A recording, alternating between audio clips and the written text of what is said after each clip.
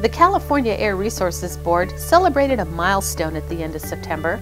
The 10,000th Clean Car Rebate was awarded to Natasha Casteel, a Placer County librarian from Meadow Vista.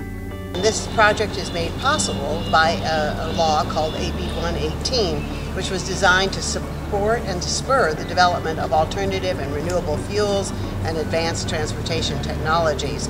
ARB's rebate program has been instrumental in propelling the purchase of plug-in electric vehicles and zero-emission vehicles, which help to achieve California's goals. This is a full-range transportation program in which the ARB is working closely with our sister agency, the Energy Commission, to achieve the overall goals of reducing petroleum use, reducing greenhouse gases, and most of all, from our perspective, of course, cleaning up the air.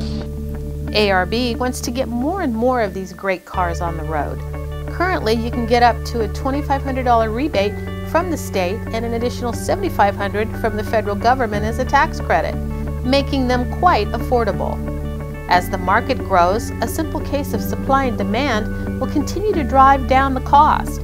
And as the manufacturing of these plug-in and zero-emission vehicles ramps up, more infrastructure will be needed to support them and their owners the investment in that public infrastructure is really going to help consumers make the choice. For me, my commute is only about 45 minutes round trip from Meadow Vista to Roseville, so I can just conveniently go home, drive into my driveway, plug it in, and it's ready the next morning. But if I'm driving around during the day to all my different libraries, I need to be able to plug in. And fortunately, Roseville has um, several um, free charge point stations set up so that I don't have the range anxiety.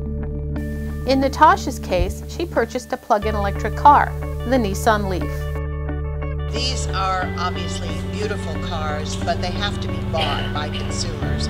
And right now we're seeing a tremendous uptick in interest, but it's really spurred along by the existence of the people who are willing to get out there and to uh, become the first adopters. In March of 2012, Governor Brown signed an executive order to reduce greenhouse gas emissions from cars and facilitate the rapid commercialization of zero-emission vehicles, including the needed infrastructure to support 1 million zero-emission vehicles by 2020.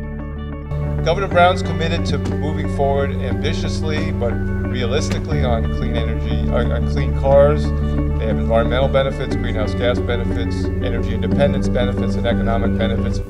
We are well on our way. What started out as 20 rebates per month has now grown to almost 1,000. And there's more to the story economic growth.